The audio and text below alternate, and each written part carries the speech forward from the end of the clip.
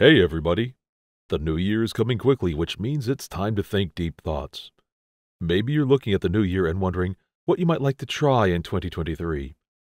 Or maybe you're looking at 2022 and thinking, wow, what was that?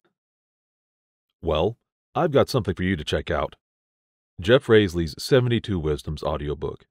It's filled with topics ranging from personal transformation, work, play, and rest, legacy and philanthropy, unresolved relationships, and healthy optimism, using wisdom from figures such as Nelson Mandela, Betty White, Socrates, Viktor Frankl, and Louis Armstrong.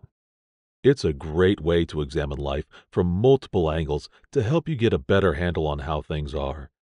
Check it out on audible.com.